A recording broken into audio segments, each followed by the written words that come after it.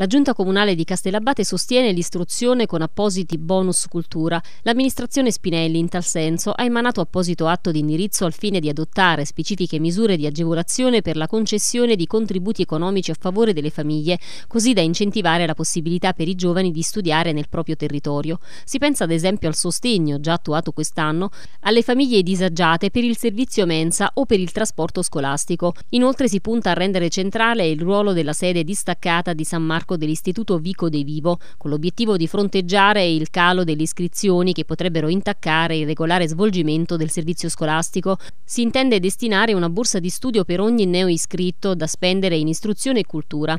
Abbiamo il dovere di offrire dei punti di riferimento educativi per il mantenimento della nostra identità culturale evitando la chiusura del Vico De Vivo, una perdita che lederebbe il diritto allo studio di un comune sprovvisto di altri istituti superiori, dichiara il sindaco Costabile Spinelli, spiegando le motivazioni motivazioni dell'iniziativa. Per scongiurare la perdita di indirizzi di studio fondamentali per questo territorio, associamo agli sforzi fatti in questi anni anche ulteriori incentivi con risorse del nostro bilancio, fornendo azioni concrete che sostengano le famiglie e frenino l'emorragia di iscrizioni nel nostro territorio.